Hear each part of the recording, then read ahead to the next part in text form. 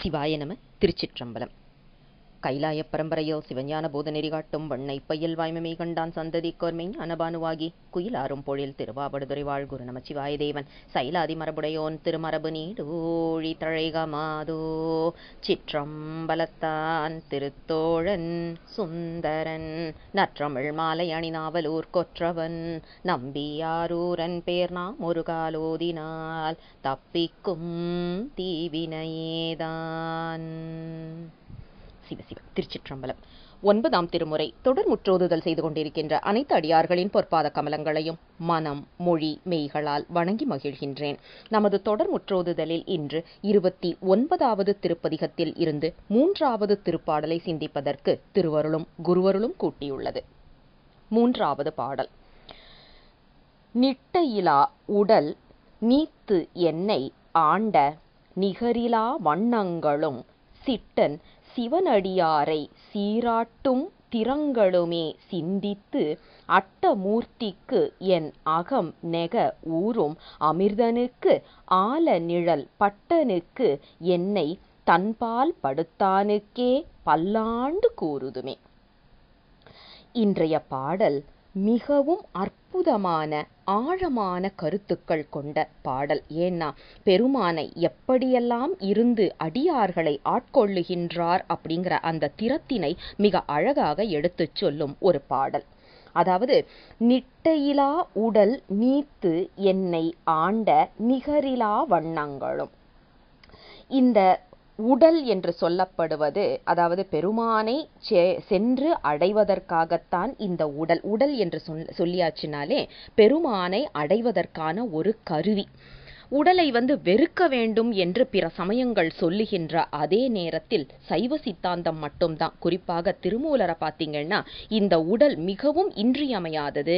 இது இல்லாம நாம சிவபெருமானை அடைய முடியாது என்பதையும் நமக்கு அழகாக எடுத்துச் சொல்லுவார். காரணம் என்னன்னா இந்த உடல் இல்லாம நாம எங்க பயணிக்கணும் அப்படிங்கிறதே நம்மளுக்கு தெரியாம இப்போ யோசிச்சு பாருங்க மற்ற மற்ற இப்போ பேயாகவோ அல்லது வேற மாதிரி இருந்தோம்னா நம்மளுக்கு எங்க போறோம் என்ன என்னன்னே தெரியாது. ஆனா ஒரு மனிதனாக இருந்தா சிவபூசை செய்ய முடிகின்றது வழிபாடு செய்ய முடிகின்றது. அதனால தான் நம்ம அருளாளர்கள் வந்து ஒரு படி மேல போய் சொல்லுவாங்க தேவர்கள் எல்லாம் வந்து மனிதர்களா பிறந்து பூசை செய்ய முடியலையேன்னு ஏங்குறாங்களாம். ஏன்னா பூசை செய்தால்தான் நமக்கு உய்தி என்பது நமக்கு ஆணித்தரமான உண்மை. அப்படி இருக்கும்போது தேவர்களால் பூசை செய்ய முடியலைன்னு சொல்லிட்டு அவர்கள் பூசை செய்வதற்காக பூமிக்குத்தான் வருகின்றார்கள். யோசிச்சு பாருங்க.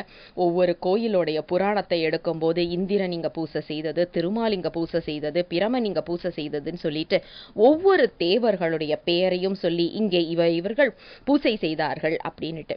ஏன்னா பூசை செய்ய வேண்டும் என்றால் அது பூமிக்குத்தான் வந்தாக வேண்டும். அப்படிப்பட்ட மறு அதாவது மறுபிறவி வேண்டாம் என்ற ஒரு விண்ணப்பத்தை பெருமானிடம் வைக்கின்ற முதல் அடி. அடுத்தது பாருங்க. சிட்டன் சிவனடியாரை சீராட்டும் திறங்களுமே சிந்தித்து. இதில் சிட்டன் என்று சொல்லப்படுவது சிரேஷ்டன் அப்படின்ற அப்படிங்கிற வார்த்தை. அதாவது சிரேஷ்டன்னா மேலானவர்கள் என்ற பொருள் சிறப்புடையவர்கள் மேலானவர்கள் அப்படிங்கிற பொருளில் தான் சிட்டன் என்று சொல்லப்படுகின்றது. இன்னைக்கு பார்த்தீங்கன்னா சிட்டன் அப்படி அதாவது சிரேஷ்டன் அப்படிங்கிறத நிறைய கல்யாண பத்திரிகைகளையும் கோயில் கும்பாபிஷேக பத்திரிகை பத்திரிகைகளையும் நம்ம பார்க்குறோம் ஆனா உண்மையாகவே சிட்டன் யார் என்றால் சிவனடியாரை சீராட்டும் நம்ம சிவபெருமான் தான். சிவனடியார்களுக்கு சிரேஷ்டர் என்று சொல்லலாம். ஏன்னா அவர்கள் எல்லாருமே மேலானவர்கள் அப்படிங்கிற குறிப்பு. சிவனடியாரை சீராட்டும் திறம். இதில் திறம் அப்படின்னு சொல்லியாச்சுன்னா நம்மளுக்கு வந்து பொருள் பார்த்தோம்னா பண் அல்லது திறமை அப்படிங்கிற ஒரு பொருளையும் வரும். திறம்பாடி நாம் பூவல்லி கொய்யாமோ அப்படிங்கிற ஒரு வார்த்தை நம்மளுக்கு இங்கே ஞாபகம் வரலாம். திறம் அப்படின்னா நம்மளுக்கு வந்து ஒரு ஒரு முறைப்பாடு அப்படிங்கிற மாதிரி எடுத்துக்கலாம். அதாவது சிவனடியாரை சீராட்டும் திறங்கள். சிவனடியார்களை எப்படி ஆட்கொள்ள வேண்டும்? அந்த முறைமை பற்றி சிவபெருமானுக்கு நன்றாக தெரியும். அதனால தான் பார்த்தீங்கன்னா ஆரொருவர் உள்குவார் உள்ளத்துள்ளே அவ்வுருவாய் சிவபெருமான் வந்து தோன்றி அருள் செய்கின்றான் என்று அப்பர் பெருமான் ஆறாம் திருமுறையில் அருளி செய்கின்றார். ஏன் அப்படின்னா யார் யாரை எப்படி வந்து ஆட்கொள்ள வேண்டும் என்று பெருமானுக்கு தெரியும். அதே மாதிரி யார் எந்த நிலைப்பாட்டில் இருக்கிறாங்கங்கிறதும் நமக்கு தெரியாது. இன்னைக்கு நான் சரியை நிலையில இருக்கிறேனா கிரியை நிலையில இருக்கிறேனா இல்ல யோகத்துல இருக்கிறேனா இல்ல ஞானத்துல இருக்கிறேனா அப்படிங்கிறது எனக்கும் தெரியாது. நான் எந்த நிலையில் இருக்கின்றேன் என்று உங்களுக்கும் தெரியாது. அதனால இவங்க இந்த நிலையில இருக்கிறாங்கன்னு நாம சொல்ல முடியாது. நம்ம எந்த நிலையில இருக்கிறோம் அப்படிங்கிறத தெரிஞ்ச ஒரே ஆள் யார் அப்படின்னா சிவபெருமான் தான்.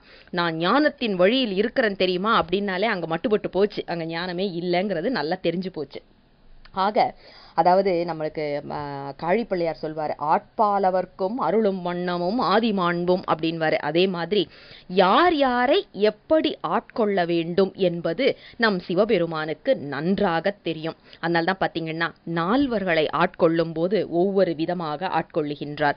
ஒருவருக்கு பால் கொடுக்கின்றார் ஒருவருக்கு சூளை ஓ- சூலை கொடுக்கின்றார் ஒருவருக்கு ஓலை கொடுக்கின்றார் ஒருவருக்கு நூலை கொடுக்கின்றார். அறுபத்தி மூன்று நாயன்மார்களையும் வெவ்வேறு விதமாக ஆட்கொள்ளுகின்றார். அதனால சிவனடியார்களின் திறத்திற்கு ஏற்ப அவர்களின் பக்குவ முறைக்கு ஏற்ப எப்படி ஆட்கொள்ள வேண்டும் என்று முறையோடு அவர் ஆட்கொள்ளுகின்றார் அப்படிங்கிறத சொல்லிட்டு சிந்தித்து அட்டமூர்த்திக்கு என் அகம் நெக அதாவது பெருமானையே சிந்தித்து வேற யாரையும் நான் நினைக்கல வேற யாரையும் சிந்திக்கவும் மாட்டேன். ஆனா உன்னை தவிர சிவபெருமானை தவிர வேற யாரையும் என் மனத்தினால் நினைக்க மாட்டேன் அப்படிங்கிறதுக்குத்தான் சிவனடியாரை சீராட்டும் திறங்களுமே சிந்தித்து அட்டமூர்த்திக்கு என்ற ஒரு சொல்லை வைக்கின்றார்.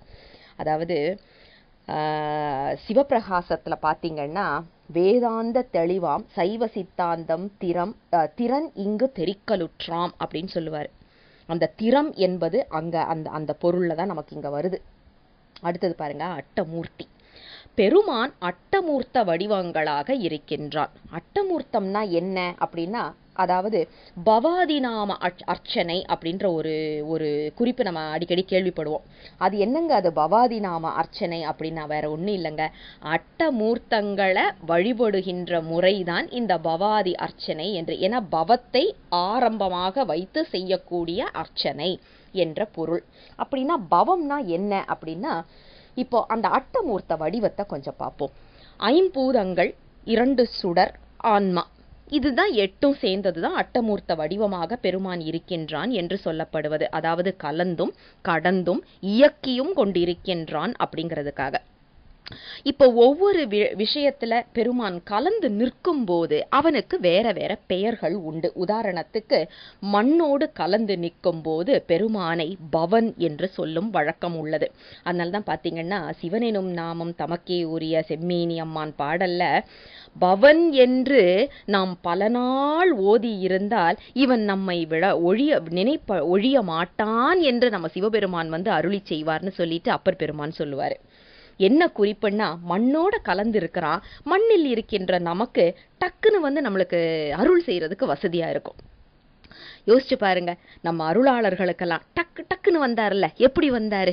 உடல் தாங்கி வந்தாரு. ஆனா அவர் தாங்கியது கருமேனி கிடையாது திருமேனி தான் நாமளும் இந்த பூமியில இருக்கிறதுனால மண்ணில் இருப்பதனால அவரும் அந்த மண் வடிவத்தோடு வருகின்றாரா நமக்காக.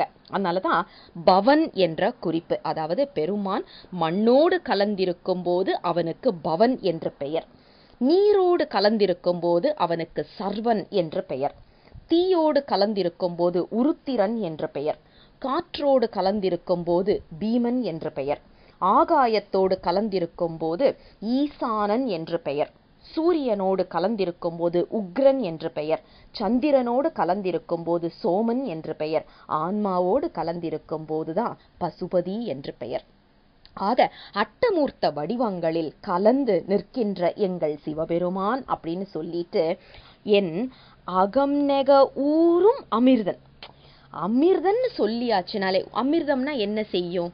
மறுபிறவி இல்லாமல் செய்யக்கூடிய தன்மை உடையது பிறவி நோயை அறுத்து எறியக்கூடிய தன்மை உடையது ஆனா அதே நேரத்துல அந்த அமிர்தம் எப்படி இருக்கும்னு ருசி யாராவது கேட்டா நம்மளால சொல்ல முடியுமான்னா சொல்ல முடியாது. ஏன்னா எப்படிப்பட்ட ருசி என்று வாயால் சொல்ல முடியாது. அனுபவிக்கத்தான் முடியும். அந்த மாதிரி தான் நம்ம சிவபெருமானும். அனுபவத்திற்கு மட்டுமே அகப்படுவாரே ஒழிய வார்த்தைக்கோ அல்லது எந்த ஒரு வரைமுறைக்குள்ளேயும் அவரை நாம் அடக்கிட முடியாது. எழுதி காமிக்கலாமா முடியாது. சொல்ல முடியுமா? முடியாது. ஆனா மனத்திற்கு உள் அந்த அனுபவ பொருளாக நிற்கின்றான் அப்படிங்கிறதுக்கு தான் அமிர்தன் என்று சொல்லிட்டு இவன் தான்ப்பா ஆல நிழல் பட்டன். பட்டன் என்றால் ஆச்சாரியன். ஆல நிழல் கீழ் இருந்து அன்று அறங்கள் உரைத்தான் இப்படிப்பட்ட சிரேஷ்டன் இப்படிப்பட்ட ஆச்சாரியன் தான் எங்கள் சிவபெருமான். அவன் என்ன தெரியுமா செய்தான்?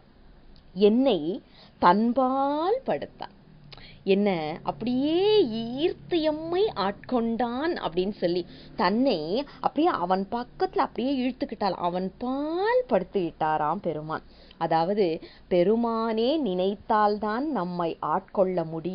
இல்லைன்னா ஆட்கொள்ள முடியாது என்பதை மிக அழகாக இங்கே சொல்லி அப்படிப்பட்ட பெருமான் எப்படி ஒவ்வொருத்தருக்கும் ஒவ்வொரு விதமாக ஒவ்வொரு திறத்தில் வந்து ஆட்கொள்ளுகின்றாரோ அதே நேரத்துல அவர்களுக்கு முக்திக்கான ஆஹ், அந்த ஆலன் ம மரத்தின் நிழலின் கீழ் இருந்து அறங்கள் உரைத்து அட்டமூர்த்தமாக இருந்து கலந்தும் கடந்தும் நம்மை வழிநடத்தி கொண்டிருக்கின்ற என்ற சிவபெருமானுக்கு பல்லாண்டு கூறுங்கள் என்று அழகாக இந்த பாடலை பாடி அருள் செய்கின்றார் ஆசிரியர்.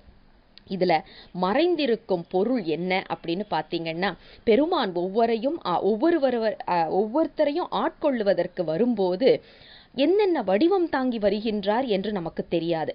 அதனால தான் இதில் வந்து நம்ம மறைந்து என்ன பார்க்க முடியும்னா பெருமான் யோக வேக போக வடிவங்களில் இருக்கின்றதை நாம் உணர முடியும். அதே நேரத்தில் அடியார்களுக்கு அடியாராகவே வந்து ஆட்செய்கின்றான் இலிங்க திருமேனியாகவும் வந்து ஆட்செய்கின்றான் அப்படின்னு சொல்லிட்டு அதாவது லயசிவன் போகசிவன் என்றெல்லாம் சொல்கிறோம் இல்லையா? அப்படியெல்லாம் வந்து யார் யாரை எப்படி ஆட்கொள்ள வேண்டுமோ அப்படி வந்து ஆட்கொண்டு அருள் செய்கின்றான் அப்படிங்கிற குறிப்பை மிக அழகாக எடுத்துச் சொல்லி அருள் செய்கின்றார் ஆசிரியர். இந்த மூன்றாவது பாடலில் தென்னாடுடைய சிவனே போற்றி எந்நாட்டவர்க்கும் இறைவா போற்றி சிவசிவ திருச்சிற்றம்பலம்.